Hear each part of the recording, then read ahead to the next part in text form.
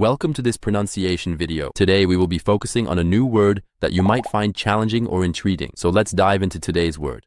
Augmenterait, which means Increase. In future tense, third person singular form, French verb. Let's say it all together. Augmenterait. Augmenterait. Augmenterait. One more time.